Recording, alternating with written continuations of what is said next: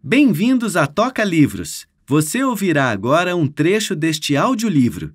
Antes de continuar, deixe seu like, se inscreva no canal e ative o sininho para acompanhar todos os lançamentos e novidades. Vamos juntos dar vida aos nossos livros preferidos.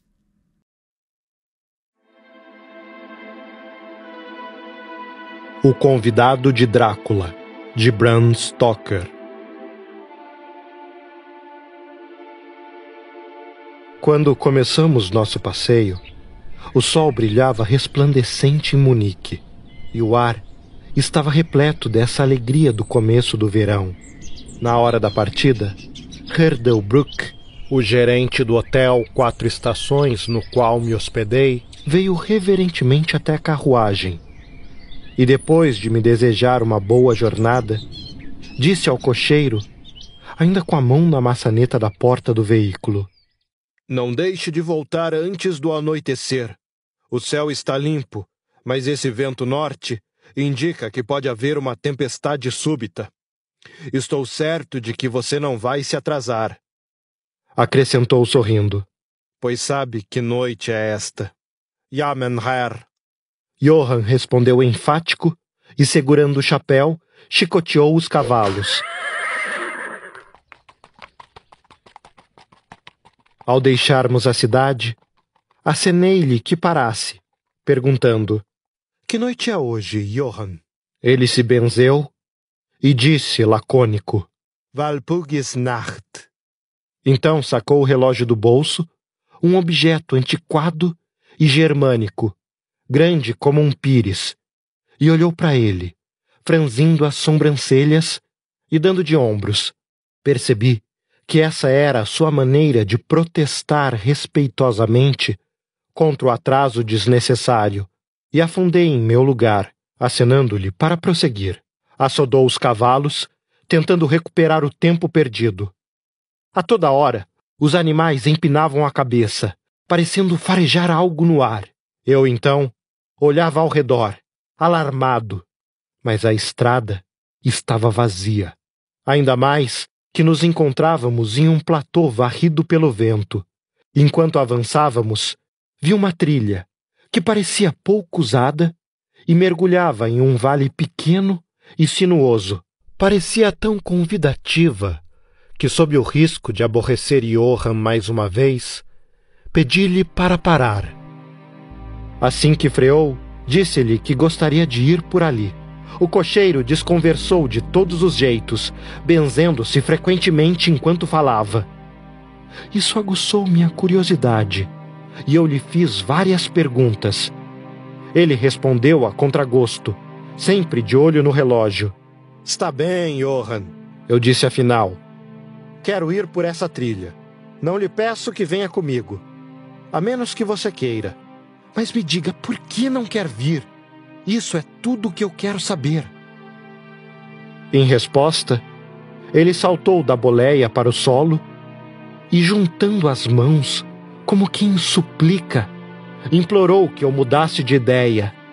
Havia em seu discurso uma quantidade suficiente de inglês misturado ao alemão que me permitiu entender o teor de sua convicção. Ele parecia querer me dizer algo de importante, algo que parecia apavorá-lo, mas a todo momento se interrompia, exclamando somente: Walpurgisnacht. Tentei argumentar com ele, mas é difícil argumentar com alguém quando não se fala a sua língua. A vantagem era certamente de Johann, que se expressava em um inglês rústico e estropiado embora se perdesse em sua exaltação e passasse para seu idioma natal, olhando para o relógio toda vez que o fazia. Então, os cavalos ficaram indóceis, farejando o ar mais uma vez. O cocheiro ficou pálido e olhou ao redor, apavorado, tomando as rédeas na mão e puxando-os para frente por cerca de dois metros. Acompanhei-o e perguntei por que fizera isso. Em resposta, benzeu-se, Apontou o lugar que havíamos deixado e direcionou a carruagem para outra estrada, indicando a encruzilhada e dizendo primeiro em alemão e depois em inglês: É enterrado aí. Ele, aquele que se matou. Lembrei do velho costume de enterrar suicidas nas encruzilhadas. Ah, sim, um suicida. Interessante. Obtemperei, mas confesso que não entendi o motivo de os cavalos terem se apavorado. Enquanto conversávamos, ouvimos um som que tanto podia ser o ganido quanto o latido de um cão. O som viera de longe, mas os cavalos ficaram ainda mais nervosos, de modo que Johann custou a acalmá-los. O cocheiro estava pálido e me disse: Parece um lobo, mas não devia haver lobos por aqui. Não? Eu disse incerto. Os lobos não chegam tão perto das cidades? Longe, longe. Ele respondeu. Na primavera e no verão. Só quando neva os lobos chegam até aqui.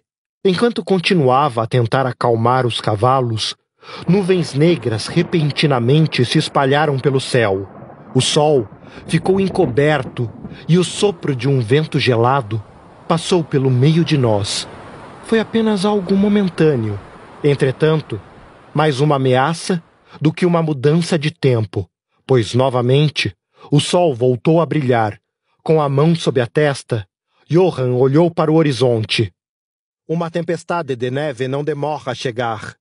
Olhou novamente o relógio e, segurando as rédeas com firmeza, pois os cavalos pisoteavam o chão e balançavam as cabeças, subiu na boleia da carruagem para continuar a excursão.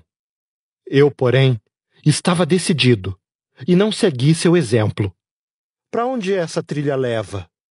Perguntei, apontando o lugar que me atraía. Novamente, o cocheiro se benzeu e, antes de responder, resmungou uma prece.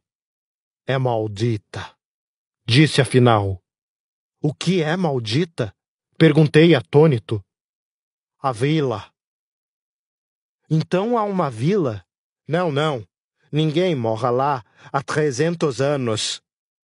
Mas você disse que há uma vila. Insisti, curioso. Havia. O que aconteceu com ela? Ele então se estendeu em uma longa explicação em alemão e em inglês, de um jeito misturado e confuso, de modo que não entendi com precisão. Pelo que pude compreender, muito tempo atrás, centena de anos, homens morreram ali e foram enterrados. Mas ouviram-se ruídos vindos das sepulturas. Os túmulos foram abertos e os defuntos encontrados com os corpos conservados e as bocas lambuzadas de sangue. Então, para se salvarem ou salvarem suas almas, e aqui Johann se benzeu novamente, os sobreviventes fugiram para outros lugares, onde os vivos viviam e os mortos estavam mortos, e não. não alguma coisa. O cocheiro estava evidentemente com medo de pronunciar essas últimas palavras. Parecia que sua imaginação havia tomado conta dele conduzindo-o a um paroxismo de medo.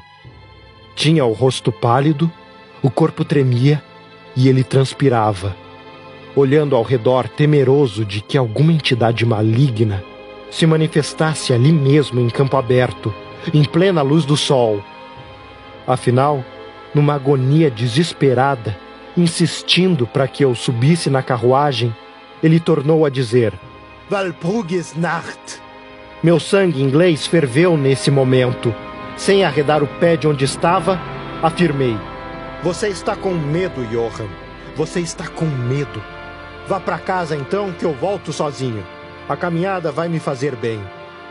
A porta da carruagem estava aberta e eu peguei meu bastão de caminhada, que sempre levo comigo em minhas viagens. E antes de fechá-la, apontando na direção de Munique e insistindo: os ingleses não dão bola pra Walpurgisnacht. Vá pra casa, Johann. Os cavalos estavam agora mais indóceis do que nunca. E o cocheiro tentava contê-los, implorando ao mesmo tempo que eu não fizesse uma bobagem dessas. Senti pena dele. Tamanha era sua aflição. Mas não consegui conter o riso. Johann mal conseguia falar em inglês agora.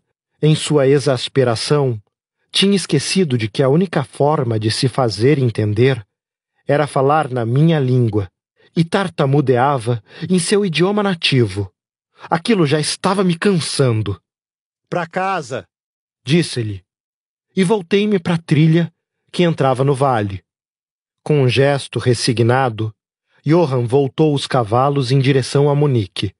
Apoiei-me em meu bastão e o acompanhei com os olhos enquanto se afastava.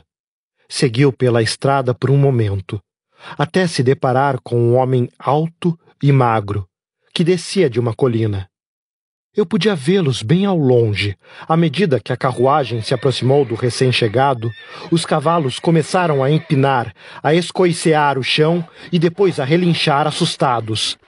O cocheiro já não conseguiu contê-los e eles dispararam pela estrada como loucos. Vi-os desaparecer ao longe e então procurei o estranho. Mas ele também tinha evaporado. Com o coração tranquilo, avancei para a trilha do vale que o alemão se recusara a seguir. Não havia, pelo que pude ver, a menor razão para essa recusa. E ouso dizer que perambulei por ali durante duas horas, sem noção de tempo ou distância, sem ver nenhuma casa nem ninguém. O local era o próprio isolamento, embora eu só tenha tentado a isso ao virar uma curva da estrada e chegar à beira de um bosque. Só então percebi que também estava inconscientemente impressionado pela desolação do território que atravessava. Sentei-me para descansar, dando uma boa olhada nas redondezas. Notei que agora fazia muito mais frio do que no começo da caminhada. De vez em quando, escutava um som semelhante a um suspiro atrás de mim, bem como, no alto, uma espécie de rugido abafado Olhando para cima, percebi que densas nuvens se formavam de norte para sul, a grande altitude. Uma tempestade provavelmente se aproximava. Com frio, e acreditando que isso se devia ao fato de ter interrompido o esforço da marcha, retomei meu caminho. Os lugares por onde andava agora me pareciam muito pitorescos. Não havia nada em especial a chamar a minha atenção mas o conjunto da paisagem era verdadeiramente encantador. Perdi a noção das horas. Comecei a me preocupar em encontrar meu caminho de volta somente quando a luz avermelhada do crepúsculo dominou o céu. O ar estava ainda mais frio e as nuvens mais fechadas. Faziam-se acompanhar de um longínquo rumor, por meio do qual parecia ecoar intermitentemente aquele misterioso ganido que o cocheiro dissera parecer o de um lobo. Vacilei por alguns instantes. Eu disse que queria ver a vila e caminhei até me encontrar nesta vasta extensão de campo aberto, cercada por colinas cujas encostas eram cobertas por árvores que se espalhavam à beira da planície, mas se adensavam nos topos preenchendo os vazios entre os morros. Segui com o olhar o prolongamento da trilha e constatei que ela se enfiava num bosque em cujo interior desaparecia. Nesse momento, o vento rufou com força e a neve começou a cair. Lembrei de quanto havia caminhado para chegar até ali e corri rumo ao bosque, à procura de abrigo sob suas árvores. O céu se tornava cada vez mais escuro e a neve caía cada vez mais intensa, até que o solo diante e ao redor de mim se viu coberto por um branco tapete, cuja extremidade mais distante se perdia em névoa difusa. O caminho parecia mais rústico, e seus limites já não eram tão demarcados quanto antes, de modo que só percebi ter me desviado da trilha quando já não pisava em terra batida e meus pés afundavam no musgo e no mato. O vento então soprou com força ainda maior, empurrando-me para a frente. O ar congelou e, apesar do esforço físico, comecei a tremer de frio. A neve caía tão insistentemente, rodopiando ao redor de mim, que eu mal conseguia manter os olhos abertos. A toda hora, o céu era crispado por intensos relâmpagos, em cujo clarão eu distinguia a grande massa de árvores à minha frente, principalmente teixos e ciprestes, já cobertos por uma densa camada de neve. Ao me encontrar ao abrigo das árvores, em relativo silêncio, pude escutar o uivo dos ventos que zuniam acima de mim. Logo, a escuridão da borrasca se misturou às trevas da noite. Aos poucos, contudo, a tempestade pareceu afastar-se, embora voltasse intermitentemente, de chofre, em violentas explosões. Nesses momentos, o estranho uivo do lobo parecia ecoar em meio aos muitos rumores ao meu redor. De vez em quando, em meio à densa massa de nuvens negras, um raio disperso de luar iluminava o caminho, mostrando que me encontrava à margem do emaranhado de teixos e ciprestes. Quando a neve cessou, deixei meu abrigo nas árvores e avancei para a clareira, examinando-a cautelosamente. Notei que, em meio às fundações que apareciam no solo, poderia ver uma casa em pé, ainda que em ruínas, na qual eu pudesse passar a noite se necessário. Enquanto contornava o bosque, deparei-me com um grande muro ao longo do qual tateei até encontrar uma entrada. Aqui, os ciprestes formavam uma alameda que conduziam para um conjunto de edificações de algum tipo. Mal as vi, no entanto, e as nuvens novamente dominaram os céus, escondendo a lua, de modo que segui o caminho às cegas. O vento estava ainda mais frio e eu tremia enquanto caminhava, mas na expectativa de um abrigo, continuei em frente, mesmo sem enxergar. De repente, uma grande quietude dominou o ar. A tempestade desapareceu. E quem sabe, em consonância com o silêncio da natureza, meu coração pareceu parar de bater. Em seguida, o luar perfurou as nuvens, revelando que eu me encontrava em um cemitério e que a coisa quadrada que se erguia diante de mim era um grande mausoléu de mármore, branco como a neve, que cobria o chão. Ao luar, porém, sucedeu um feroz suspiro da tempestade, que retomou seu curso com um longo e agudo alarido, como o uivo de muitos cães ou lobos. Tenso, assustado, sentia o frio aumentar, como se agora um fantasma de gelo me agarrasse pelo peito. Então, enquanto um raio de luz do luar ainda banhava o túmulo de mármore, a tormenta deu mais um sinal de que se encorpava e enfurecia. Impelido por um estranho fascínio, aproximei-me do sepulcro, querendo ver o que ele era e por que se erguia ali, em meio a tanta desolação. Contornei-o e li sobre sua porta dórica o epitáfio em alemão: Condessa Dollingen de Gratz. Na Estíria, procurou e encontrou a morte em 1801. No topo da tumba, aparentemente cravado no mármore, pois a estrutura era composta de grandes blocos de pedra, havia um aguilhão ou estaca de ferro. Ao chegar à parte posterior do mausoléu, vi, gravada em grandes letras cirílicas, a inscrição: Os mortos viajam rápido. Havia algo de tão estranho e sinistro em tudo isso que senti um calafrio e quase desmaiei comecei a acreditar que devia ter seguido o conselho do cocheiro. Então, um pensamento aflorou em minha mente, emergindo de modo misterioso e provocando-me um terrível choque. Era noite de Valpugues. Na noite de Valpugues, segundo a crença de muitos, o diabo está à solta. Os mortos deixam suas tumbas e todos os espíritos malignos da terra, do ar e da água se reúnem em um festim demoníaco. E eis onde eu me encontrava, no lugar que o cocheiro quiser evitar a qualquer preço, no cemitério da vila abandonada de séculos atrás, o local onde jaziam os mortos-vivos. Ali estava eu, só, envolto em uma mortalha de neve, com outra selvagem tempestade se preparando para desabar sobre mim.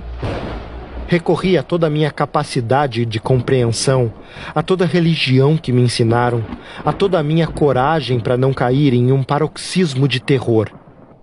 Depois me vi envolvido por um tornado. O chão tremeu como ao trote de milhares de cavalos, e dessa vez, em vez da neve, choveu granizo, com tamanha violência que as folhas e os galhos das árvores foram devastados, de modo que os ciprestes já não me abrigavam. Corri de uma árvore para outra, mas logo nenhuma me servia, forçando-me a buscar refúgio no único lugar que restara, os sombrios umbrais do mausoléu de mármore. Ali, comprimindo-me contra a sólida porta de bronze, consegui me proteger das pedras de gelo, que agora só me atingiam depois de ricochetear no chão. Como eu me debruçasse na porta, gradativamente ela se abriu, franqueando a entrada para seu interior. Mesmo o abrigo de um túmulo era bem-vindo diante de uma tormenta como aquela. E eu estava prestes a entrar, quando o clarão de um relâmpago iluminou toda a extensão do céu. Nesse instante, olhando para dentro do túmulo, avistei uma bela mulher de rosto arredondado e lábios vermelhos, que parecia dormir sobre um esquife. Um novo trovão sacudiu a terra, e eu fui sugado para a tempestade lá fora, como se a mão de um gigante tivesse me agarrado. Tudo aconteceu tão repentinamente que antes que eu pudesse me dar conta, já estava no exterior, sendo bombardeado pelo granizo. Ao mesmo tempo, senti a estranha sensação de que não estava sozinho. Olhei para o mausoléu e, nesse mesmo momento, um outro relâmpago pareceu atingir a estaca de ferro de seu topo, abrindo caminho em direção ao solo e fazendo o mármore desmoronar em meio a labaredas de fogo. Por entre as chamas, a morta se ergueu num espasmo de agonia e lançou um amargo grito de dor, abafado pelo estrondo de um novo trovão. Foi a última coisa que ouvi. Esse som aterrorizado. Pois novamente o gigante invisível me arrastou para longe, metralhado pelo granizo ao ar livre, onde reverberavam os uivos dos lobos.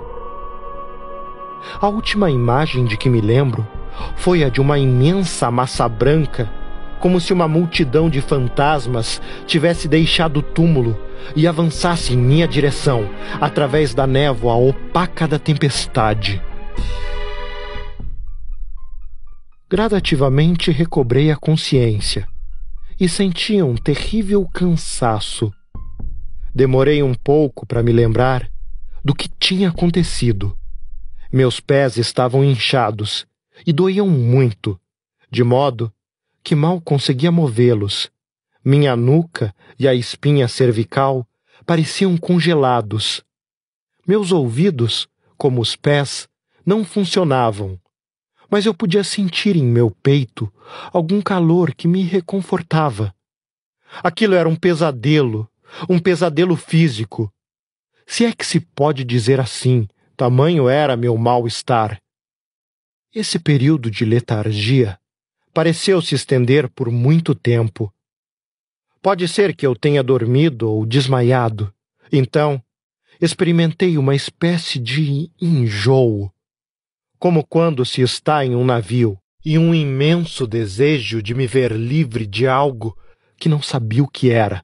Um profundo silêncio me absorveu, como se o mundo ao meu redor desmaiasse ou tivesse morrido. Embora, no instante seguinte, eu pudesse escutar a respiração arfante de um animal que se aproximava. Senti junto à garganta um hálito quente e então tomei consciência da aterrorizante situação em que me via.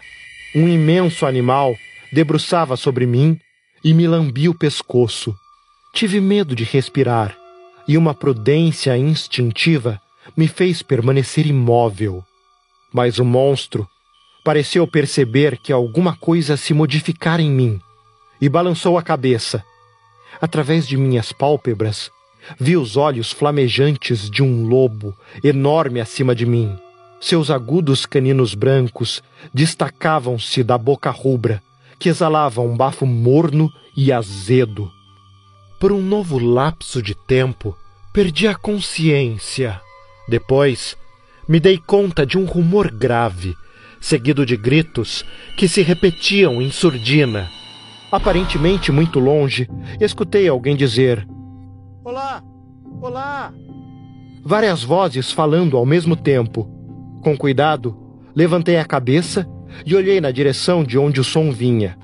Mas os túmulos obstruíam minha visão. O lobo continuava a uivar de modo estranho, e um clarão pareceu avançar entre os ciprestes, como se acompanhasse o uivo. Vozes se aproximavam e o lobo uivava incessantemente, cada vez mais alto. Eu não tinha coragem de me mexer ou fazer qualquer som. O clarão chegava mais perto, vencendo as trevas e clareando a mortalha de neve ao meu redor. De repente, do meio das árvores, irrompeu uma tropa de cavaleiros carregando tochas. O lobo saltou de meu peito, procurando refúgio no cemitério. Vi que um dos cavaleiros, soldados, a julgar pelas capas e pelos capes, levantou sua carabina e apontou. Outro soldado, porém, afastou sua arma com um empurrão. Escutei uma bala passar zunindo sobre minha cabeça. Ele devia ter tomado meu vulto pelo do lobo mas alguém avistou a fera fugindo por outro lado. Um novo disparo se seguiu. Então, um galope ecoou e a tropa avançou. Alguns soldados em minha direção, outros atrás do lobo, que desaparecera por entre os ciprestes. Quando se aproximaram de mim, tentei me mexer, mas não tinha forças, embora pudesse ver e escutar o que se passava ao meu redor. Dois ou três soldados saltaram de seus cavalos e ajoelharam ao meu lado. Um deles levantou minha cabeça e pôs a mão sobre meu peito. Boas novas, camarada, ele disse. Está vivo. Então, derramaram um pouco de conhaque na minha garganta, o que me libertou do torpor, tornando-me capaz de abrir os olhos. Luzes e sombras se mexiam entre as árvores, e ouvi homens falando uns aos outros, Aqueles que procuravam o lobo voltaram, afinal, se reunindo a nós, excitados, como se estivessem possessos. Os que estavam comigo, ansiosos, lhes perguntaram: Então, encontraram-no? Não, nada. Mas é melhor ir embora daqui. Esse não é um lugar para se permanecer, principalmente nesta noite. O que era aquilo? Era a pergunta que todos se faziam.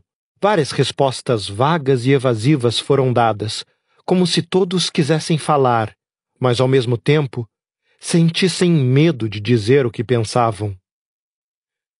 Uma coisa. Uma coisa. De fato. Tartamudeava um, que ainda não se recuperara do susto. Um lobo, mas não propriamente um lobo falou outro, visivelmente perturbado. Não adianta ir atrás dele sem balas de prata, disse um terceiro, aparentemente mais calmo. Ainda bem que viemos aqui, exclamou ainda um quarto. Com certeza ganharemos uma condecoração. A sangue no mármore, disse outro, após alguns momentos em silêncio. Não pode ter sido um raio responsável por isso. E quanto a ele? Está mesmo fora de perigo? Parece que sim. O lobo se deitou sobre ele e o manteve aquecido. O oficial se debruçou sobre mim e declarou: Ele está bem e não tem ferimento. Gostou do trecho do audiolivro? Então acesse nosso site e baixe gratuitamente nosso aplicativo disponível para Android e iOS e ouça hoje mesmo a versão completa da obra. E não se esqueça de deixar seu like, comentar e se inscrever no nosso canal. Toca Livros, trazendo vida a seus livros.